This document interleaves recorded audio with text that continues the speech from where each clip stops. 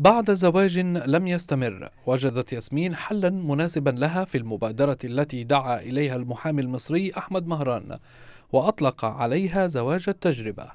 زواج يعتمد على إرفاق عقد مدني يضع فيه الطرفان شروطهما مع تحديد مدة تجدد تلقائيا إذا ما التزم الطرفان بالشروط. بالنسبة لي الجواز التاني بفكرة جواز التجربة أكيد محقق لي أنا نفسي استقرار نفسي وإن أنا ضامنة إن أنا الكلمة اللي هو قالها هو كاتبها هيلتزم بيها. أنا شايفة إن فيها التزام. في عقد الاتفاق اللي أنا هعمله اللي هو مدته ثلاث سنين ده أنا هضيف الشروط السابقة اللي هتضمن لي حقوقي قبل أو بعد الانفصال لو حصل انفصال لا قدر الله. إحنا مش داخلين بنية إن إحنا ننفصل إحنا جواز مؤبد ومستمر.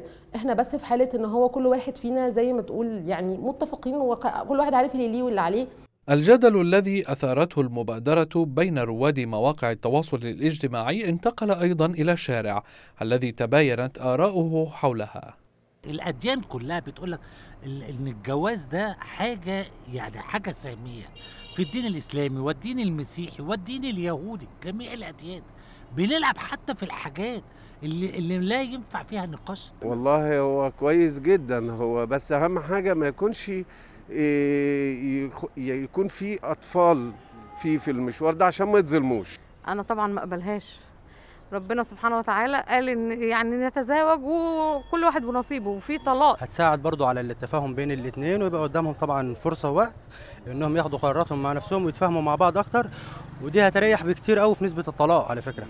ولقيت الفكرة أيضا معارضة بين رجال دين. ليس لأن عقود الزواج الشرعية الحالية لا تمنع وضع الشروط من الطرفين فقط لكنهم يقولون إن تحديد مدة الزواج يبطل العقد. لا يجوز شرعا. اتجوز وما ترميش يمين طلاق على زوجتك. اختلفت بعد سنة. ما عجبتكش بعد سنة. بعد سنتين. تفضل مربوط الخمس سنين؟ ما ربنا سبب مفتوح عليه الزواج لا يحدد بمدة. هل ينفع إن واحد رايح يتجوز واحدة؟ يقوم يقول للولي أمرها إن شاء الله بنتك أنا هاخدها على سبيل التجربة إن فلحت هخليها إن ما فلحتش هطلقها لك. وفقا لآخر إحصاء رسمي عام 2019 فقد زادت حالات الطلاق بنسبة 8% عن العام الذي سبقه. وبلغت نحو 237 ألف حالة طلاق.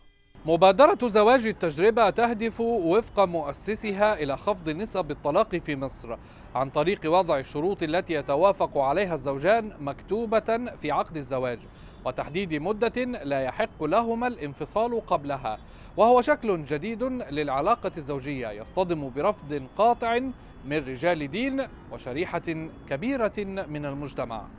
أحمد حسين الحرة القاهرة.